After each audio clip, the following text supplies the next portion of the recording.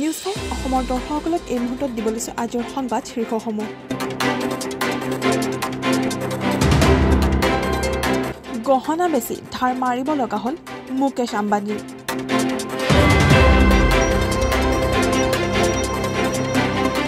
Mask নিপিন্ধো। ৰাজহুৱা সভাত ন বিজেপি আব্দুল আজিজৰ ঘোষণা। বশিষ্ঠদেৱ শৰ্মাক শংকৰদেৱ বঁটা প্ৰদান কৰিলে মুখ্যমন্ত্ৰী সৰ্বানন্দ সোণোৱালে। ৰাজ্যৰ পুলিচ পঞ্চায়ত আদি একাধিক পৰীক্ষা সন্দেহৰ আৱৰ্তত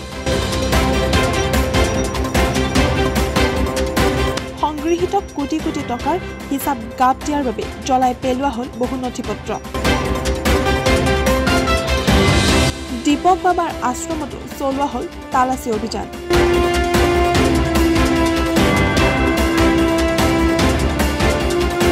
ৰাজ্যবাসীৰ বাবে এটা ভাল খবৰ। মাৰ্কিন কোম্পানীৰ পৰা অনা এপালি দৰৱতে ভাল হ'ব কৰোণা ৰোগী। উপ নিৰ্বাচন বন্ধ ৰাখিবলৈ আয়োগলৈ পত্ৰ প্ৰেৰণ মুখ্য সচিবৰ।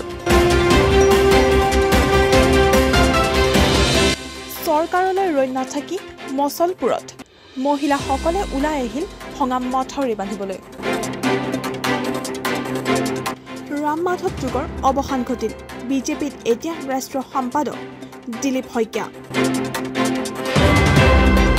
ক্ষুব্ধ চাহ শ্ৰমিকসকল ঘেৰাও কৰিব মন্ত্ৰী বিধায়কৰ ঘৰ।